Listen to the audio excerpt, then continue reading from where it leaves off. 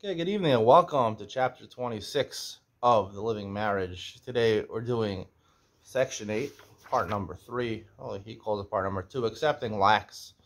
Uh, we're talking about the problems in this section that cause potential shalom bayis problems. Um, in last chapter, we talked about differences the couple has, you know, whether it be personality, whether it be hashkafas, backgrounds. Today we're talking about people's lacks, where it's not just differences, nuances in terms of how you grew up. In terms of people actually have problems. As he opens the chapter with a husband who has a severe anger problem. I can imagine there's husbands like that. I mean, every person has an anger problem. I'm a man. I have an anger problem. Sometimes, you know, you work to control it, but you do get angry. If you don't get angry, you're not normal. If you're not, if you don't get angry ever, you're not normal because people get angry. If something doesn't, you know, bruise your skin a little bit, you know. They're not normal. But um, you shouldn't be having an anger problem where you're always getting angry. That's a problem. So he brings a story. Someone came to him, perfect newlyweds, and yeah, I'll read you what he says. Still within the first year on the new wife had a picture of the perfect newlyweds. Both are well known for their exemplary midos tovos, laden with praises a dream come true straight from heaven. Still, within the first month, the new wife has already begun to enter a state of panic. As she watches her dream crumble before her eyes, while her husband is a fine, caring person, he also has a bad attribute of anger, which often gets way out of control. With no choice, she calls Rebbetzin with tears in her eyes. What should I do if he gets angry and he starts banging the walls in anger? Her well-meaning Rebbetzin tells her not to panic because she has a solution. The new wife will simply increase the chesed on and unending kindness that she does for her husband he will certainly stop getting angry at her. However, this works for two weeks, he says, and after it doesn't work, and then he says he's going to do better, and he doesn't do better, and he's still getting angry. What do you do? What do you do with such a situation like that? How could you live with an angry husband? Now, listen, if the guy's beating you physically, so that's a problem, and get help, and, you know, get out of that marriage if you can't stop. Um, if he's verbally abusing you, that's also very difficult. Should seek help. um, depends. Some people are more emotional than others. Depends what a verbal abuse is, but cursing out and things like that, and you know, it's normal for people to yell at each other and get angry at each other. But you know, if the tirade is excessive or happens excessively, so something to be, to be worried about. But um, you know, and there's other forms of domestic abuse also. But I'm not talking about that. I'm talking about, you know, regular problems, you know, character deficiencies that people have. What do you do, right? Now, always it's always the problem with the husband, but you know, let's talk about the wife. Sometimes the wives have problems. For example, they're not good wives. You look at the Gemara in Yevamos, the Gemara talks about what a bad wife is. A lot of people get married, their wife's a bad wife. Or they think their wife is a bad wife. I remember I had a friend who told me he got married and he, they had a great relationship, I guess, dating. Once he gets married, he gets to the house, and his wife does nothing. She's sitting there. He's yelling at her, get up and clean. Get up and cook. Do something for me. You know? And she's sitting there. She's taking the credit card. She's going buying takeout. She's going buying jewelry, buying clothing. He, he's getting crazy. Is, what are you, this is marriage? You're supposed to do something. Clean the bathrooms you know, and for years it bothered he told me, until one time he said a couple years later, she just started doing these things. Now, I am not uh, familiar with the particulars of his marriage, um, or what it was a marriage, but uh, I'm not going to tell you what happened to this person, but um, the secret for, for the reasons of privacy. Uh, but um, things change, and and things can change in a marriage. And the author really doesn't talk about that so much. He talks about accepting. That's his solution over here. Um, you know, he talks about, he does talk about lack of a woman. She's not truthful. She's lying to him. People can lie. They're not going to be 100% truthful. Um, what do you do? He brings in an interesting story. Um, I personally learned this lesson, the author says, when I was approached by a young Avrech who had been married for several months and wanted a divorce because he felt that his marriage was a clear mistake and was intentionally deceived by the shadchan. At first, I thought that this was a regular young man overreacting to an unexpected dimension in his wife, but after talking to him for a short time, I recognized that he was an exceptional Torah scholar who had a uniquely strong sensitivity to truth. Emes, Emes, Tori Karta. In addition, he hated falsehood with all of his heart and simply could not exist in his proximity. When he was ready to look for a wife, everyone knew that he needed a young lady who also valued truth and hated falsehood. Like we know what the truth is, right? Like every well, he he knew exactly everything was truthful. When he met his future wife, he was convinced that she was like him in this respect. Within the first months of their marriage, he caught her lying not once, not twice, three times. Three times. Three, three, three shakes her out. I was unable to continue living with her. He wanted to divorce her immediately and felt he didn't even need to give her a get. This is amazing. Because it was a mekach tos. He said it was a mistake. They deceived me. Right? Women, they all tell the truth, except my wife. She's a shakranist. She lied three times. You know why women lie? They lie when they don't have an open relationship with their husband and they're embarrassed of their husband. The husband will say bad things. And there's excessive fear in the house. That's when they lie to their husbands. If they have a caring and open relationship with their husband, the husband's a good husband, the wife won't lie. They'll be open to their husbands. That's the truth. After several unsuccessful attempts to change his mind, I took him to the Steipler. As we came before him, he looked at both of us. And before I could say a word, the Steipler asked the young man if he had any unique qualities. The young man stood silently, not knowing, not stood silently, not knowing what to say. He told him a long story. He told him he has a very keen sense of truthfulness, and you know she is not living up to the standards. The Steipler told him that he's a murderer. This guy is a murderer, and he will murder in the future. I don't know. Steipler got a little uh, kabbalistic over here, you know, that no one in this world could be completely truthful. So you're completely truthful, but the element of shakranus and you know of and, you know the, the, element of falsehood in you, because this is a world of falsehood, is it found in your wife? You decided you, when you were born, you had a decision: you want a little bit of falsehood in you, or you'll be a completely truthful person, and your wife will have falsehood in her, and that's what you chose. And if you divorce that wife, then you're going to become a person that's completely truthful, who can't exist in this world, and you're going to murder people because some, you know, you see this sometimes. People are kanayim, right? They think the problem is that they're not really truthful, right? They don't understand really what the truth of the world is. Just because you think you know what the truth is and you believe in the literalism of the Torah or the literalism of some other religion doesn't mean that literalism is actually the right way to go. You know, you know, people read Amelia Bedelia and they think, yeah, it's a joke, you know, who's like Amelia Bedelia? But most religions, modern religions, including Judaism, you know, should be taken with a grain of salt, honestly, because, you know, literalism. So that's like, I'm sure in Judaism, you know, I got it that we don't take at face value. So why do you take the halakha at face value? Because you can't you can't differentiate and say, I got it that we don't take at face value because obviously it can't be, you know, it's exaggerations. It's not meant to be taken truthful. But halakha, that we take at face value. Right thing halacha at face value. It's intertwined with Agadita. The Gemara often puts, you know, quotes Gemara's of Agadita to support halachic opinions, you know. So if the Gemara is intertwining the two, there's obviously, you know, a message over here that even the halachic parts of the Gemara are not meant to be taken literally.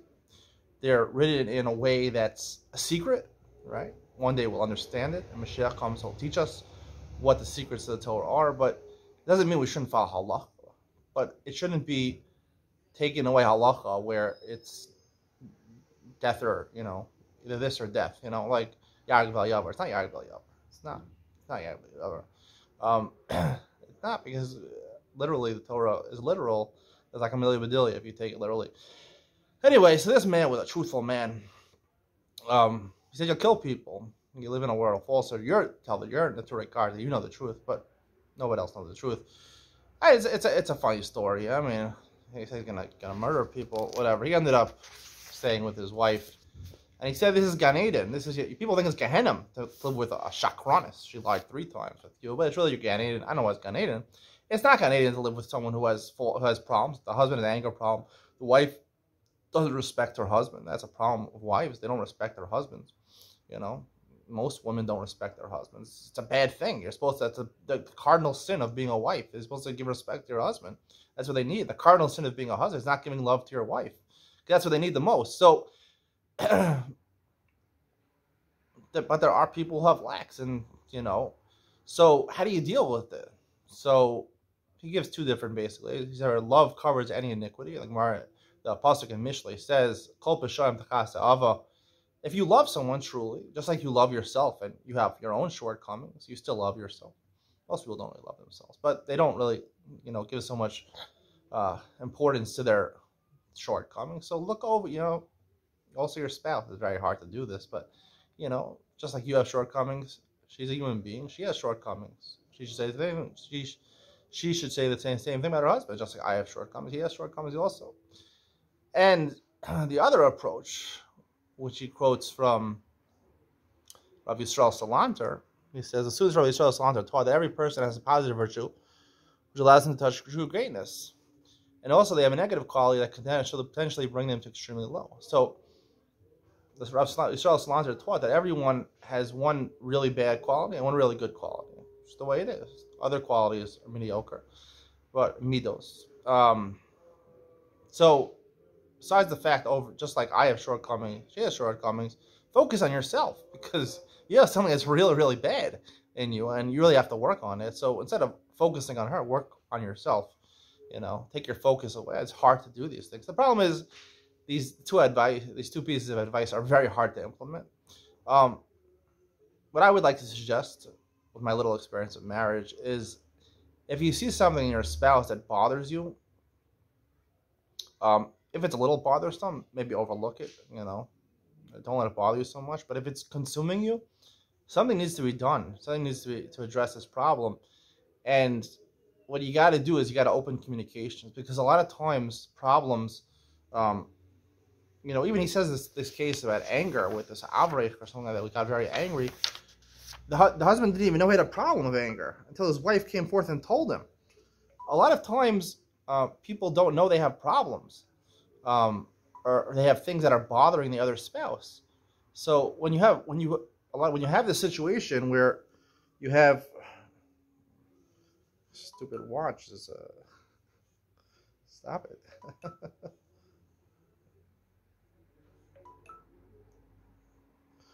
stupid watch is beeping this fossil watch. anyway, um fossil smartwatch.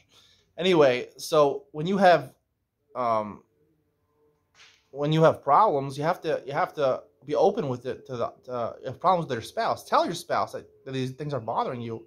They might not even aware they're doing anything wrong. So that's the first thing. Alert them that they're doing something that bothers you. Um, they have a deficiency. Don't tell them to work on it, right? Because it's not going to help, right? Don't get angry. It's good saying, "Do this, do that." You're not you're not cleaning up. You know, clean up this, clean up that. You know, tell them, you know, I have a problem that you're not neat, right, or something like that or tell them I have a problem with your anger. It's very important the other spouse should know you communicate and know what that problem is. And if you're two good people and you want to work on your marriage and you have a loving marriage, and obviously it starts with the husband who has to provide, he has to start and provide love to his wife and be a man and command respect. Because really the wife should respect him, but she's not going to respect him unless the husband becomes a man and commands respect. It's just the way women are. It's very hard for women to change. So they're very emotional. You know, it's easier for men to change things practically. They're more practical. Women is very hard for them to change. It's very emotional. So you have to be a man that commands our respect. So you have to start. The husband's responsible. Say 100% for the marriage. The woman's 0%. This is just the truth of marriage. So you have to communicate what the problem is. Both the wife communicating to the husband, the husband communicating to the wife, and you have to tell her what the problem is. Now, it's not always going to be fixed right away, but you're giving the seed for it possibly to be fixed because if there's an availability that she can change something in the future, um, she'll know that what she's doing bothers you, or you'll, or the husband will know what he's doing is bothering her. So as long as there's knowledge, that that's important because most couples have a very poor lack of communication. Right? This husband talks about his wife is lying to him. Wives that lie to their husband, right? They're hiding things from their husband. It's because there's no good communication. It's not an open relationship. It's a very you're not you don't have a relationship, right? People hide things. They want to do their will, but they don't want to tell their, their spouse about them. Now it's not. You know, it's people couples will still you know people will still lie. There are always insecurities. People feel husband husband and wife is not you know a perfect union where they're best of best of friends right away, or maybe even ever, um, due to a lot of differences and you know between people. But you can have you can work on that and have more openness and more communication in your marriage. That's the first step.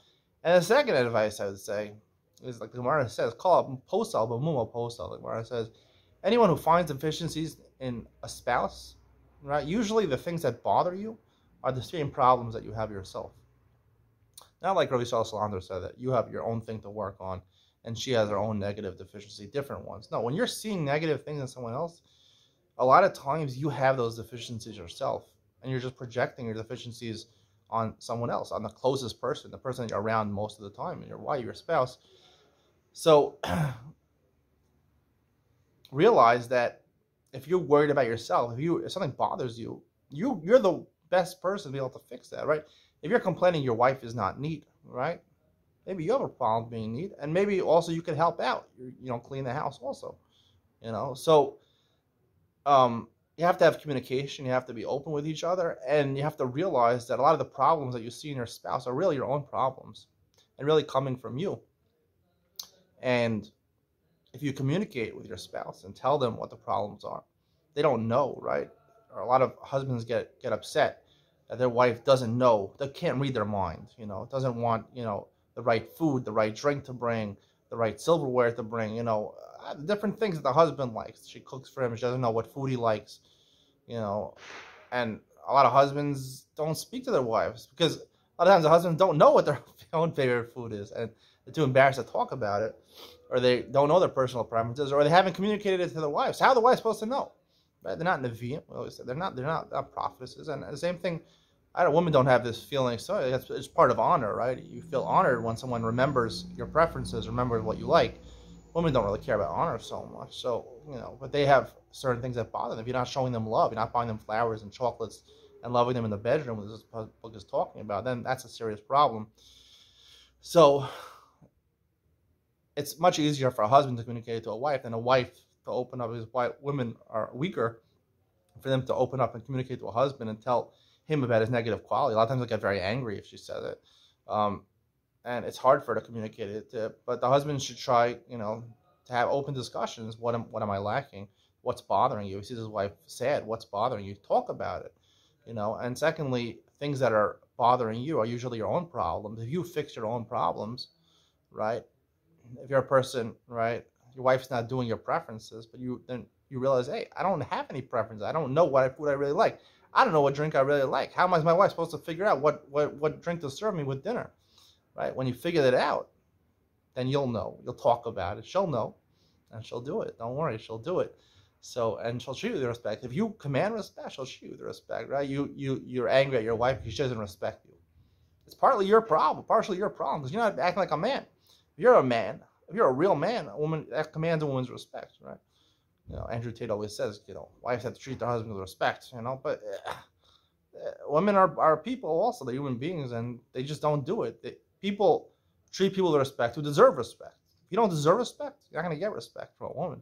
So it's, it's hard to get respect from a woman, but if you command respect, it's your pride. don't blame it on the wife. You just don't command respect. Women, it's hard for women to change. They're emotional. So that's all I have to say about this. Communicate and realize that your own problems that you see in the spouse, the problems you see in their spouse are really, a lot of them could be alleviated by you improving yourself, in which case the problem that you see in your spouse will automatically go away or at least be mitigated. Hope you enjoyed today's share. See you in the next one.